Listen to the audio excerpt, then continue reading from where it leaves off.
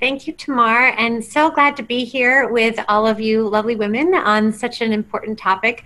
So, as Tamar mentioned, I have written this book on how to age vibrantly, and um, that came from my work, which is that this tends to be an issue very much on the minds of the clients, the wealthy families that we serve. I wrote a book three years ago on raising children well amid wealth, which is sort of number one topic people are concerned about how to raise children who aren't demotivated by the affluence around them. And then, of, I'd say, second is how do I age well myself and how do I minimize any burden that my aging might cause on my loved ones? So I sought to interview people leading vibrant later lives, is how I put it, uh, and tried to share the takeaways that I learned from them. And I found that with my first book, this sort of what works success story format is much more inspiring for people than sort of talking about all the things that might go wrong. So I'm going to share in the time we have today some of the key takeaways I learned from these lovely people I got to speak with. I will say, first off, that one challenge I found in writing about aging is that people tend not to talk about aging. I think it's still sadly somewhat of a taboo topic. And sometimes for a reason as simple as um, one of my interviewees said, I don't feel old. You know, I'm 83, but inside I'm 42. And one of the things I found is that I actually think that's not a bad way to go about life. I would just say save 5% of the time to plan for the fact that you are actually not 42.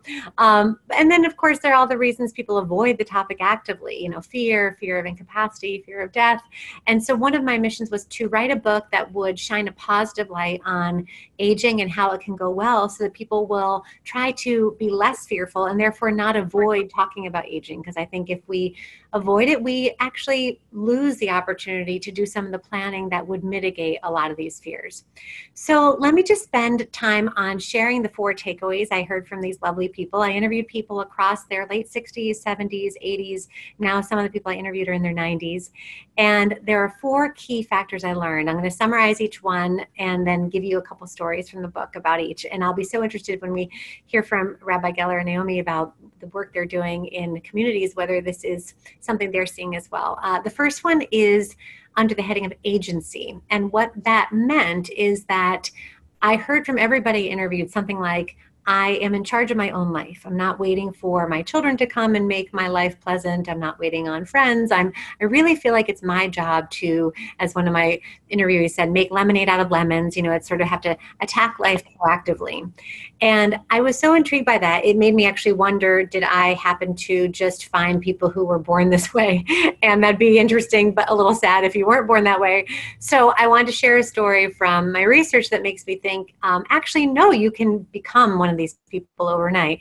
There was a woman, Diane, I interviewed in her 60s, but she was recounting a time in her 40s.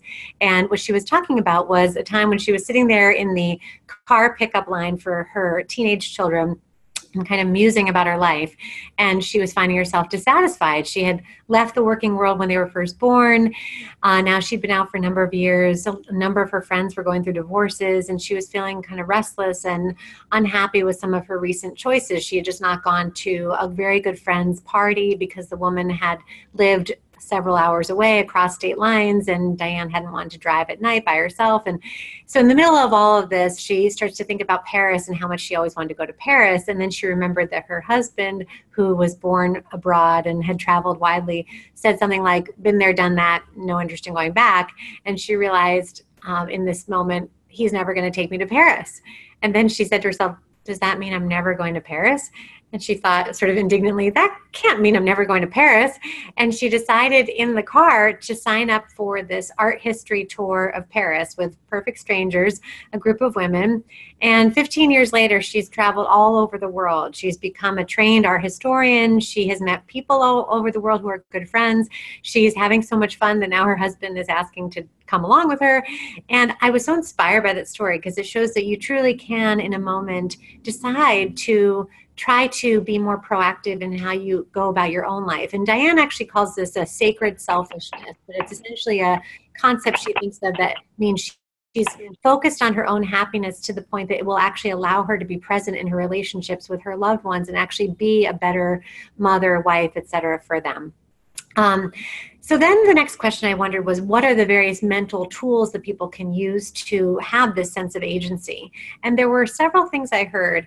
Sense of humor is really good, a sense of gratitude, most of all, I'd say is a sense that things might always be worse a truly proactive ability to cultivate an imagined reality that would be worse than what you are currently experiencing, which I think is actually a very useful mental tool as you start to approach the declining capacities that may accompany age. A lot of the people I spoke with said something like, Look, you know, I'm here. It could be worse, you know. And I actually think that fundamental attitude has allowed them to appreciate where they are, even with capacities that are less than they might have been when they were younger. Um, Sheryl Sandberg actually talks about this in her new book, Option B, and about how her husband tragically passed away. And a friend said to her after this, Well, it might have been worse. And she said, I don't know what you're talking about. You know, I'm a young widow. And he said, Well, he could have had that cardiac event driving your children. And even amidst that terrible tragedy, she did actually feel this sense of appreciation for what didn't happen. So the other thing I asked people about was role models, whether they had good role models of aging, and I'd say about half of the people did and half the people didn't. I actually heard a pattern when I interviewed couples, there'd often be the pattern where one mother or mother-in-law was the epitome of graceful aging, happy, everyone loved being around her, and the other one was sort of the opposite needy, very demanding, always complains that you're not calling, essentially, in essence. And I put these stories, even though it's a positive book, I did put a couple pages in about these, this juxtaposition, because what I often hear from people as a goal when they think of aging is I don't want to be a burden to my children. And these stories sort of demonstrated what people perceive as burdensome. Uh, so to wrap up agency, I'd say this really comes down to mindset. And there's a fascinating study that was done by a woman, Ellen Langer, who is affiliated with Harvard, she conducted this in the 1970s and she took men who at the time were in their 70s and sent them away for a week to a monastery that had been converted as if it were the 1950s and these guys were told to act as if they were themselves at that younger age 20 years prior. So they had to dress as if they would have been in their career at that time talk only about things they would have talked about at that time. The news looked like it was from the 50s. And these guys were measured prior to going and when they came out, physically, cognitively, pictures were taken. And what's amazing is after just one week, they measured cognitively sharper, they were physically more dexterous and nimble. And people who, in a double blind fashion, had no idea what this whole thing had been about, thought that the after pictures were of younger people. So this is a crazy study. It's been replicated. It's actually it was a British reality TV show also. But what it shows is, and, and, and I should say there was a control group that did the same thing. The only difference is that while the first group was told to mentally embody this younger self, the control group was told to reminisce about the days, those days in their life. And the first group that was mentally embodying that younger self did far better. So while I, I bring this up to say that my client who said inside I'm 42, this is actually, I think, a good thing. Uh, so let me take us on to now the next factor, which is growth. So growth is all about continual learning. And there's the myth that, you know, you can't teach an old dog new tricks. And there is the biological reality, which is that neural plasticity, the ability of our neurons to grow, is a lifelong ability. But then there, I think there really is the human challenge, which is that if you take, as, as my clients tend to be, people who've experienced a lot of success in life, are used to being sought after for their area of expertise, and you actually put them into an environment where they would learn something entirely new, it can be very humbling because it requires them to spend some time feeling really bad at something. And that mental challenge of being uh, really bad at something can be so difficult for people that they actually resist that type of growth environment. So I asked my clients how they dealt with that. And um, I heard all kinds of funny stories. Like one of the guys I interviewed said that he had been a lifelong golfer and then got bored of golf in his late 60s, so decides to take up yoga. And he said the worst part about yoga was not the physical challenge. He said it was the embarrassment and the humiliation of having to crawl out of the first class halfway through on his hands and knees because he couldn't do anything. And he said he's surrounded by all these 20 something young guns doing all these crazy things. And he just said it was just really embarrassing and I had to get over that. So I interviewed one of the people I interviewed for the book is named Raymond. By the way, these are all fake names, and the reason is you might say, well, why wouldn't people want to be identified? These are all happy stories. I found in talking to particularly the latter end of that age spectrum, people in their 80s and, and up, that they were much more vulnerable with me than they would be with their family members. I asked one gentleman who who was in tears on the conversation with me, have you shared this beautiful story you're telling me with your children? He said, Oh no, I would never tell my children this. You know, they think I'm the rock. They they wouldn't kind of see me in this role so I think I had to kind of let people be honest, but all the all of the quotes in the book are their actual quotes, so these stories really come alive. Um, so anyway, one of the individuals I talk with is named Raymond in the book. He's one of the reasons I wrote this book. I'm just so curious to know what Raymond, uh, what makes Raymond tick, because I worked with him for 15 years he honestly in my mind has aged backwards over that period of time. When he when i first met him he was rolling off a highly successful career in private equity. He was very type a very controlling in all the best ways. And in these last 15 years he's done all of the following things. Uh, become a cattle roper competing and winning against men in their 20s He's gone on to do a documentary film that was very well received. He's become a photographer. He now has shows of all his photography. So I've just been so awe inspired by him. And one of the things I wanted to know is how did he do this? You know, how did he learn all of these things? And I just want to share with you what he said, which is essentially that he decided to use his financial resources to pay for apprenticeships for himself. So he said, having resources allows you to do things. How many years do I have? I don't have the time to learn this on my own. I need a crash course someone has got to get me going and feed me with a fire hose. So he essentially would hire people to mentor him, and that allowed him to learn things much more quickly and I think actually much more enjoyably. Um, and on the issue of humiliation, he says, he sees no shame in trying and failing. It's not always pleasant to be embarrassed or make mistakes, but I think you just have to do it. When you stop learning, stop evolving with what's happening out there, you drop off and become irrelevant. I didn't want to be one of those people who think they know everything. I thought that was so well put. You're sort of either someone who's open to learning new things, or you have put yourself in the box of people who think they know everything. So, my next question after Raymond was Is there an age cutoff to this? I mean, Raymond began this whole process in his mid 60s, and, and what I would say is the phase of life, which I've now seen some people refer to as young old. There's young old and old old. And so I wondered, you know, can this be done at any age? And I want to share a story from the book, A Woman, Catherine. So I learned about Catherine when I interviewed her son. So I had actually sought to interview her son, who was in his 60s at the time. And when I started talking about neuroplasticity, I and growth, he said, "Oh, my mother was the poster child for that." And then I hear the story of Catherine, which starts when she's 82. And he said that she was living in the condo in Florida that she had lived in for the last 15 years since her husband, his father, had died. And he said this was not going well. She was, as he put it, uh, well, she wasn't caring for herself very well, wasn't taking her medication, and as he put it, was playing cards all day with people who were angry, depressive, or sick. So she was pretty negative.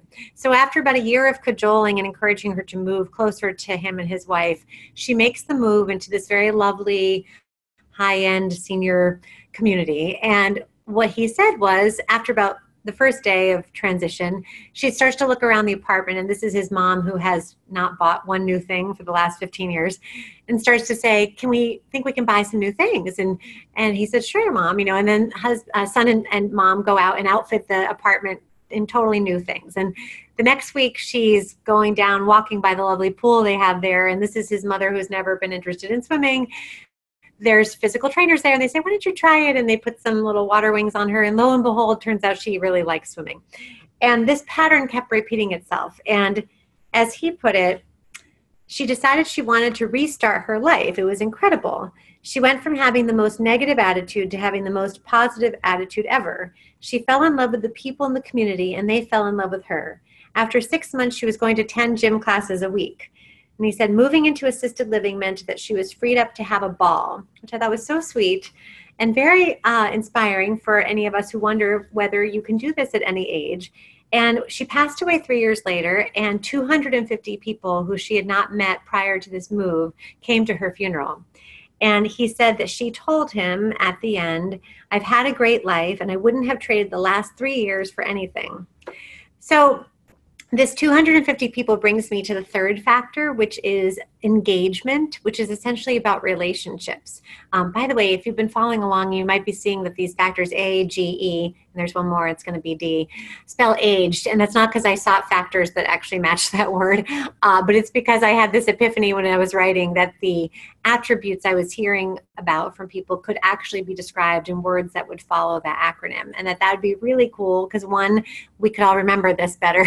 And two, it might play a very small role in changing this negative connotation of aging. You know, if we could all say, yay, I hope I can be aged, uh, that might be a really good thing. So, so engagement is about relationships. i I'll be very interested to hear from our other speakers about this. So a lot of studies, including a Harvard, the longest running longitudinal study done of aging, starting with men in the 1930s and still following any of them who are still living and their children and grandchildren, say that one of the major uh, things that contribute to longevity is relationships. So I was interested to ask is this spouses, is this children?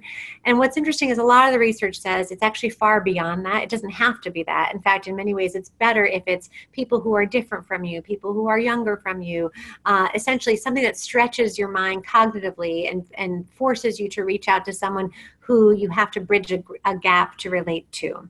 There's another concept of elderhood that's really critical in the developmental literature, and we all have heard of childhood, and it's embraced and celebrated in our society. And there really is an equivalent concept of elderhood that is sadly really not embraced and celebrated.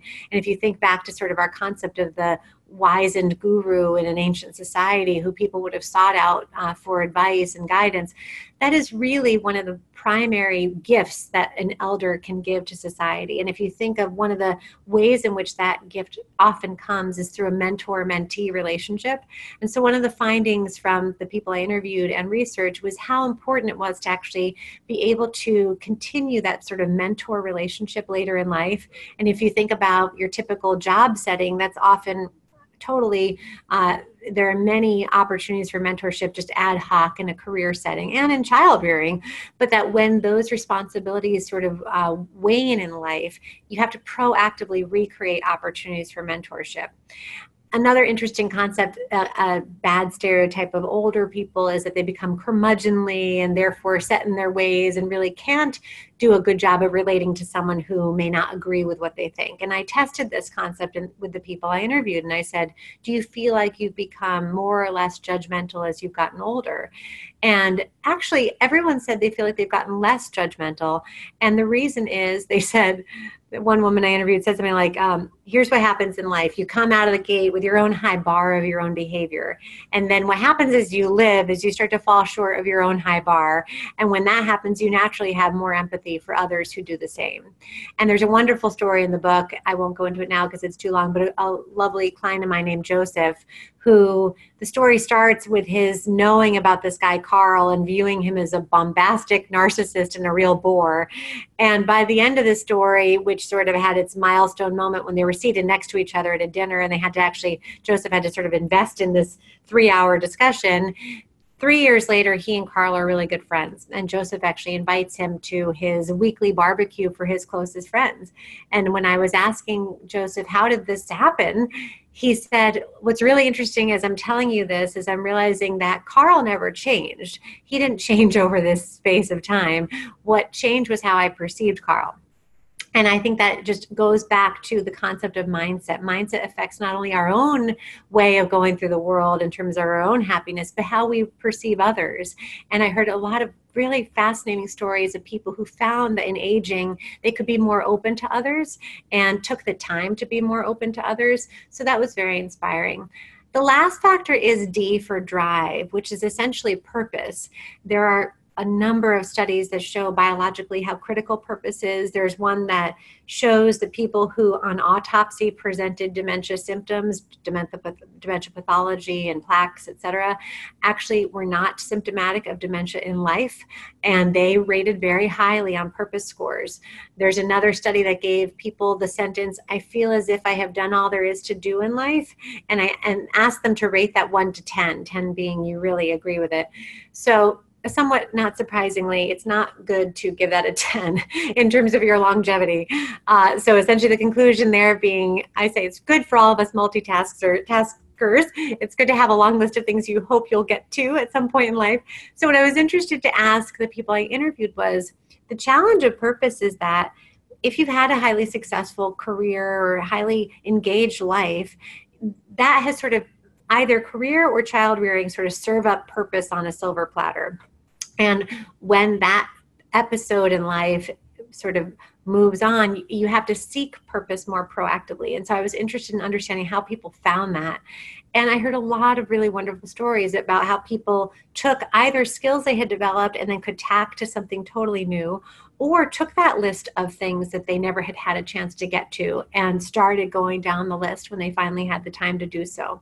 There's a wonderful story about a guy, Francis, in the book who had sort of a somewhat typical uh, trajectory in what I see in my work. Grew up very poor, Lower East Side, and chose to get a highly successful career going as a result so that he would never have to experience that level of poverty again. His family wouldn't have to.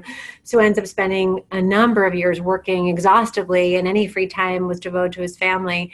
And as he put it to me, for 42 years when working, I did not reach out to help anyone else. And I was very aware of what I wanted to go toward. And he ended up devoting 15 years after his work life had ended to a charitable organization that he found in his community that taught him quite a bit about how he was seeing people and that even though he felt like he'd had a highly successful career there was actually so much more that he could learn about how people actually related to one another so um, there's a lot of stories like that in the book about how people have done that. So I want to just tack briefly to how this comes together. You know, do you just cultivate these AGED, you know, agency growth, engagement drive, those four factors, do they just come naturally? And I found that the people I spoke with really were intentional about trying to have these elements in their life, whether they called it that or not, uh, you know, those words, they had an effort to try to be this way. And I put a chapter in the book, chapter five, all that is all about essentially how do you go through a self-reflective process to get yourself to start to try to embrace these factors in your life uh, what i find with the clients i serve money is typically not the finite resource. The truly finite resource is time. And I think that, especially if you've had a successful life, I find successful people tend to be in a constant state of forward momentum. And it can actually take something happening, you know, a milestone like the birth of a grandchild or an illness or something to stop that forward train and give people the sort of shock almost to take a step back and reflect on their life. So there's some really good questions in there. One being if you're if you have five years to live how might you change your life? And my favorite is these come from a gentleman george kinder who is in our profession who founded what's called the financial life planning movement you know how you harness your financial resources to really live a, a life of meaning and purpose the, the question is if you go to the doctor and you're told this is your last day on earth what is that first sense you'd have of the regret you'd have in terms of who you didn't get a chance to be or what you didn't get a chance to do? And that that is really where you should start in this list of things that you want to use this time to to do. In my remaining very um, short time, I just want to briefly mention the second half of the book is all about if the first half is about things we can all do to enhance our own aging experience, the second half is about things we can do to enhance the experience of the loved ones who will see us age and who will be left behind as a result of our aging and um, eventual death. And that's all really stories from the perspective of middle aged children who are grateful that their parents did certain things. And so I put this whole section under the heading The Gift of Clarity, but it comes down to if you have two hypothetical adult children and the first knows the answer to all the following questions where their parents would like to spend the remainder of their life, how they would like their life to end, what family stories they would like passed down, why they made the estate planning decisions they did. And the second child knows the answer to none of these questions, and you ask, which child would we all rather be? Most of us would rather be child one. And sadly, based on how infrequently these conversations happen, most will be child two. And worse than that, most of us will make our own children be child two because we won't do the thinking that's required to actually communicate what we want. And so, in that section of the book, at the end of each chapter, one chapter is all about family stories, ethical wills, meaning behind your estate plan. The next chapter is all about changing minds and capacities, you know, those later years of life when the home you've always lived in has been easy for you to live in may not no longer be that when you may have potentially cognitive issues. How you handle that in a way that works well for you and your family. And then the last chapter is on end of life wishes and death. And there's a list of questions at the end of each of those chapters that i really recommend people go through the exercise of answering for themselves. I'll share one story about that which is about uh, from my own family.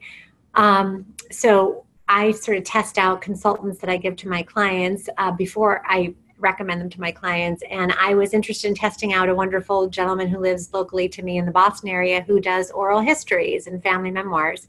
And so I hired him to record a two hour interview with my mother, father, and my aunt. And I thought about two things with this. One was I wanted to see whether I liked working with this guy, and two, I thought briefly of my daughter who was four at the time and thought this will be nice for her to have at some point in the future.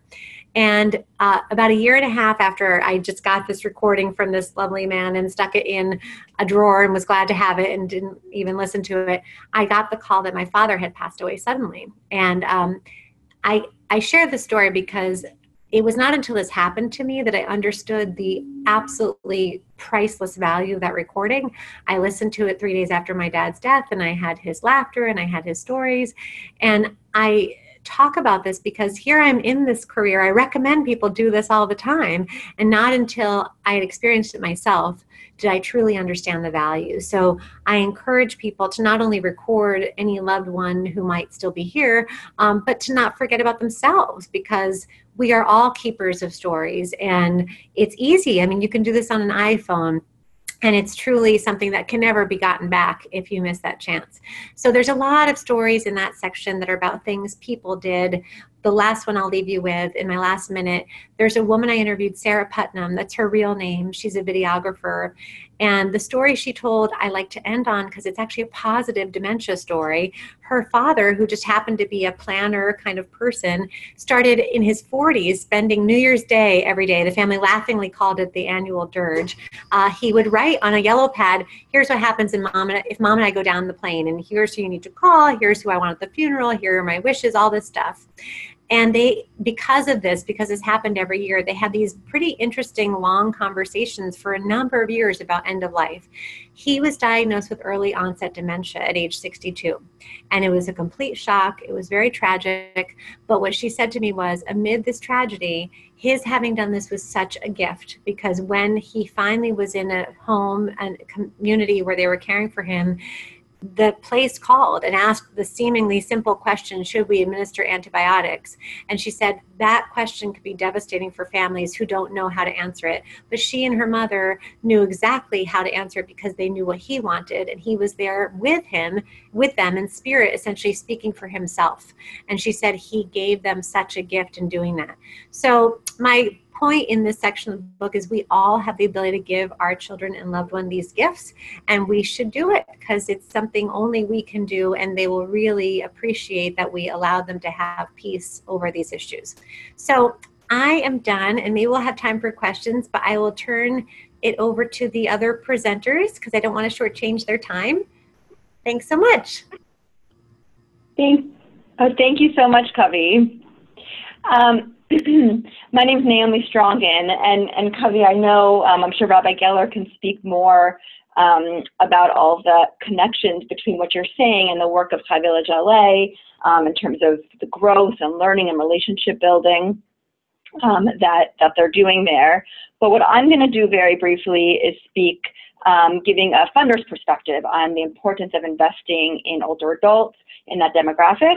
And then I'll turn it over to Rabbi Geller to speak more about her program. So the Jewish Community Foundation of Los Angeles is a major funder of uh, innovation in the Los Angeles Jewish community. We've launched over 100 new programs. We've granted nearly $20 million in this area since 2006 through what we call our Cutting Edge Grants program. So while funding of older adults, uh, baby boomers, or seniors is not the sole focus of our grant making, innovation is, and that's part of the innovative grant making that we do. We fund programs that fill unmet, unmet needs, that are unique and that will have long-lasting impact on the, on the population being served, on their communities, on the larger Los Angeles Jewish community. We fund in all areas from arts and culture to Israel advocacy, next-gen engagement, youth programs, programs for special needs populations, and our grantee organizations serve a span of age groups from the youngest children to Holocaust survivors. As I'm sure many of you have seen in the grant making that you do, the majority of proposals that come across our, my desk are really focused on the younger populations. How do we engage millennials? How do we engage teens and children to help ensure uh, the Jewish future? What is really less often the topic of conversation is how to invest in older adults in the baby boomer generation, uh, which is also really ensuring the Jewish future. Most boomers are still vibrant and capable of making significant contributions to our community. The generation has energy, creativity, and talent that's being passed down to future generations. So how can our community invest in programs that provide meaningful pathways to serve this highly educated, highly successful, and very large population, and do so with the Jewish lens and Jewish values as the guide? So when Rabbi Geller and her team from Temple Emanuel Beverly Hills, in collaboration with Temple Isaiah, brought the idea of Chai Village LA to us, uh, which is the first ever intercongregational baby boomer village, it was really one of the first proposals uh, that we had seen that addressed this question and that focused its meaningful Jewish work on older adults. Uh, Rabbi Geller will tell you more, but based on the larger village movement where older adults become members and gain access to programs and services. And it provides a way for the baby boomer generation to age in place while staying connected to their Jewish traditions, communities, and synagogues. Rabbi Geller and her colleagues made a great case for the importance of investing in the baby boomer generation. This is a generation of experience with skills, talent, and resources and they made the case for how an investment in baby boomers is also really an investment in Gen Xers, in millennials, and in the generations after them. The foundation, our committee, our board was really truly energized and excited to be seed funders of an initiative for this demographic that had so much potential to make an impact on not only the Jewish baby boomer population, but on future generations. It's now been three years since we awarded a grant to Chai Village LA, and three years later, we've really seen the potential become a reality as this idea has transformed into a thriving, impactful program. We really helped pave the way for other funders to see the importance of this kind of investment, as many other Jewish funders have now signed on to support Chai Village LA, as well as other programs supporting this population. And actually, our own board really has seen the importance and impact of the investment. And a couple of years later, in 2017, invested in capital projects to institutions that would benefit LA's older adult Jewish communities.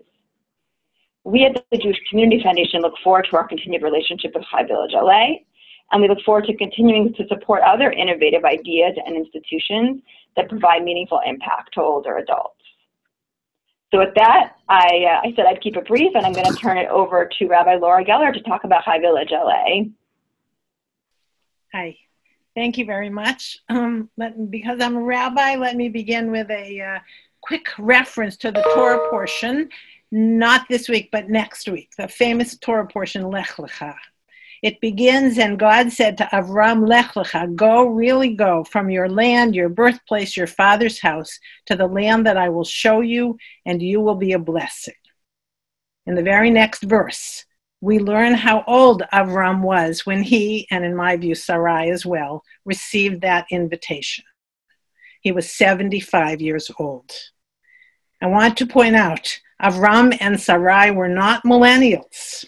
They were seasoned adults, and they heard an invitation to explore their next stage. And that certainly led to blessing for the Jewish people. I am so grateful to the wise philanthropy of the Jewish Community Foundation's Cutting Edge Grant, which enabled us to hear the invitation that grew out of a listening campaign that began at Temple Emanuel of Beverly Hills in 2012. We brought together over 250 members 55 to 75 years old in small groups to hear about how they felt what many social scientists are describing as a new stage of life, the period between raising our families and building our careers and frail old age. This is new. It didn't exist for many of our grandparents. For some people, this new stage can be as many as 25 or 30 years. And again, it's not these years tagged on at the end of life, but it's this stage between midlife and frail old age. We asked people what their fears and hopes were, what keeps them up at night, and what gets them up in the morning. The four major fears were becoming invisible, becoming isolated, becoming dependent, and not having a sense of purpose. And one of the hopes that emerged is that people wanted to stay in their homes as long as possible. This led us to explore the village movement and eventually to create Chai Village LA. So, just quick background Naomi mentioned this, but the village movement began in 2002 in Beacon Hill in Boston when neighbors got together to figure out how they could grow older in the homes they loved. There are now about 200 villages around the country and maybe about 150 more in formation. A village is not a place, it's a community that's led by adults who share optimism, skills, support, and expertise with each other. It's a radical old idea neighbors helping neighbors through services like walking the dog when someone's out of town, bringing meals when someone is sick, providing transportation to medical appointments, or assisting with technology. As important in these service, as these services are, many villages are finding that social programs are even more valuable to their members in helping them continue to build the social capital that often contracts as people retire and their lives changed. In fact, research by the AARP has shown that village members experience reduced isolation, increased independence, and a deeper sense of purpose. Turns out that loneliness is a serious public health issue. A recent study showed that lacking social connections is as damaging to our health as obesity or smoking 15 cigarettes a day. And just this past January, the United Kingdom created a new Ministry of Loneliness to begin to find solutions to this public health concern. And it's obvious that loneliness often increases as people grow older and no longer have the social capital that was provided by colleagues at work or the social networks that might have been part of their lives when they were younger and raising families. So, Chai Village LA is an antidote to loneliness and invisibility. And it's also reinforcing the truth that Jewish tradition knows so well none of us is ever independent. We're all interdependent. And through Chai Village LA, we're redefining the notion of interdependence to be one of mutuality and agency. And through Chai Village, many of our members are rediscovering a sense of purpose. So it is a response to the kinds of issues that Covie raised in her presentation. So, as Naomi said, we're a synagogue village, the only one in the country. That means that you have to be a member of one of our two synagogues. And because you're already paying membership dues in those synagogues, we've kept the membership dues to the village very low. It's been an amazing win win for both the synagogues and the village. Boomers who've been thinking of leaving our synagogues are staying connected, and others are actually joining the synagogue so they can be part of the village. And because the expectation is that everyone volunteers in some way, leading a program, hosting a program, serving on village committees, volunteering in the larger community or in the synagogue, it turns out that the synagogue has more volunteers. And the village benefits from the partnership. We're technically a project of Temple Emanuel, so we're covered by Emanuel's insurance, and backroom expenses, payroll, etc., are also covered. Most of our programs happen in members' homes, but some actually happen in the synagogue, like a recent uh, talk by a member of the village who recently retired from the Brookings Institute. He spoke about Korea. 100 people came to that. We're member driven and member led. Members lead programs. interest groups that take advantage of their specific areas of expertise or interest. So again, these people are no longer invisible. They are seen for the experts, the experienced people that they are. All different kinds of programs, art appreciation, new member potlucks, tours, authors' nights, computer training, current events, wise aging groups. Um, several village-wide programs a year, uh, including a Passover Seder, where the four elders instead of four children. This year we had about 120 people come to that Seder. Since our official launch in July 2016, Chai Village has grown to about 220 people, half from each of the two synagogues. Members volunteer four hours a month, some of them by offering services to other members. A committee of members um, established a training protocol for how to be effective volunteers.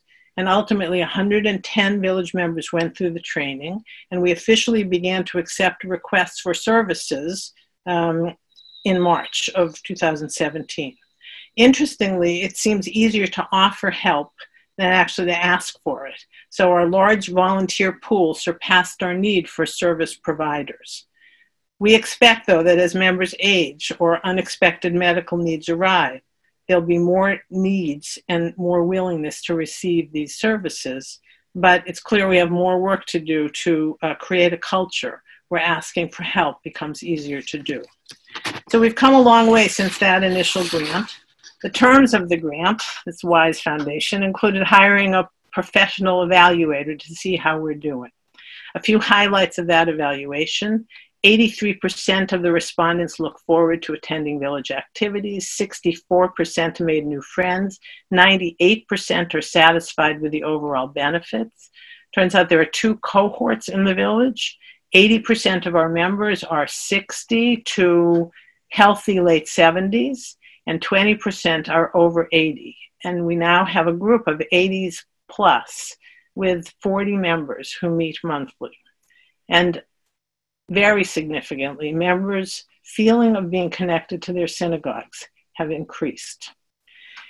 There's also been a lot of interest from members of other synagogues who don't feel that their synagogues are completely meeting their needs.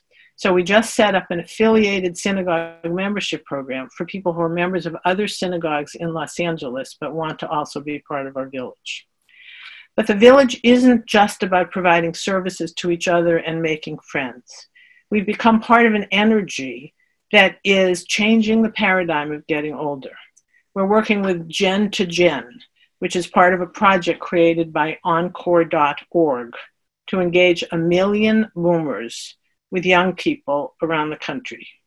And we're now also part of Village Movement California, which is a coalition of the other 40 plus villages in California with the aim of figuring out how working together we can reshape the conversation about aging in California. And finally, we've been overwhelmed by inquiries from the Jewish community, from Jewish communities around the country, uh, wanting to understand what we're doing and how we're doing it.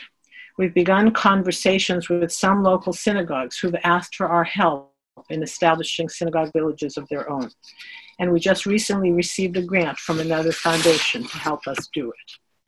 It feels as though this is a moment that offers a new beginning, just like the one in our Torah portion.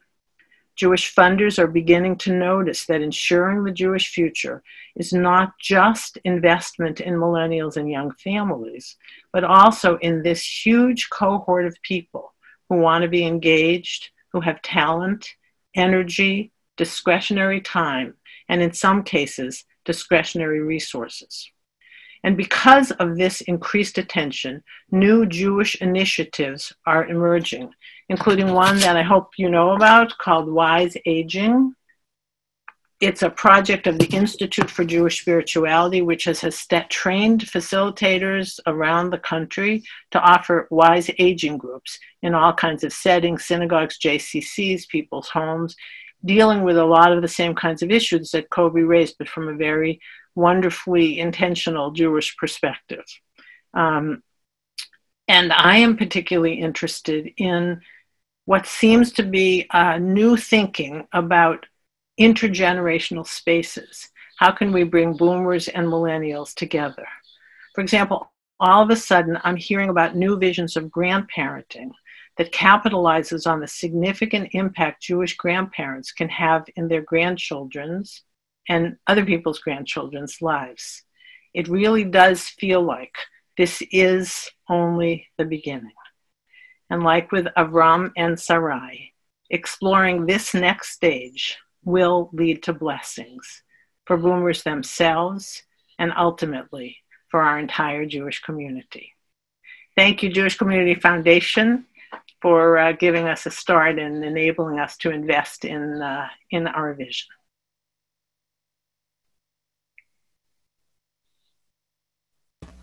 Okay, thank you so much. I really appreciate all of the presenters and their and their thoughts and their presentations.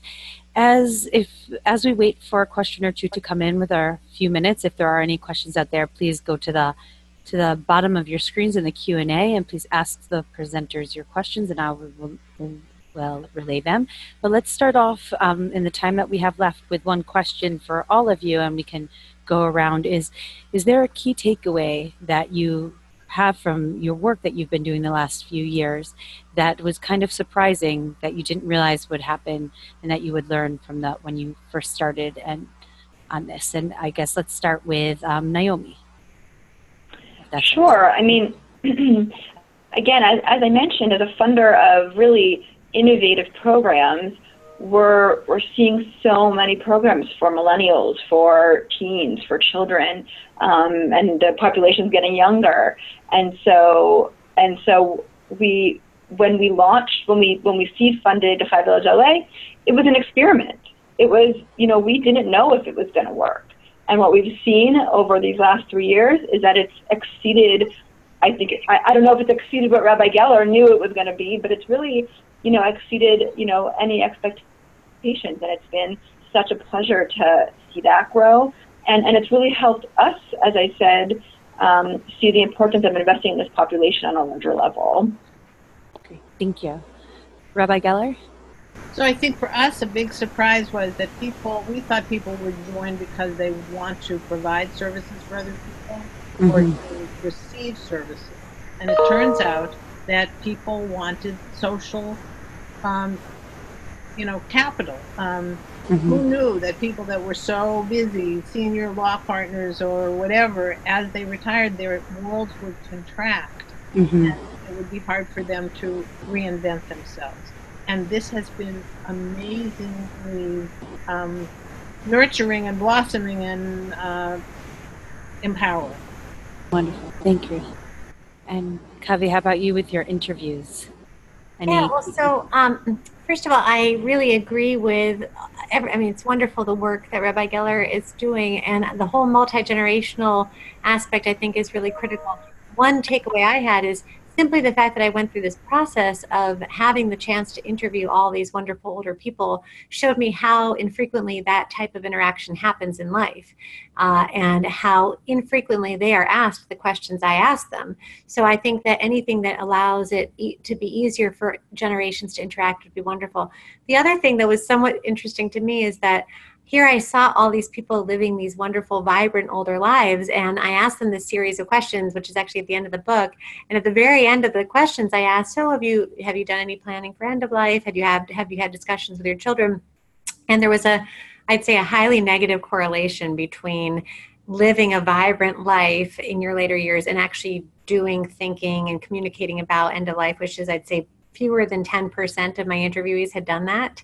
So that's one of the reasons I included these positive stories in the second half of the book from the perspective of the adult children whose parents did do that. Because I think one of the gifts that all of us who work with people in this age group can do is encourage them to do that thinking because it actually is so helpful for family harmony that will be the legacy they will leave after they are no longer here.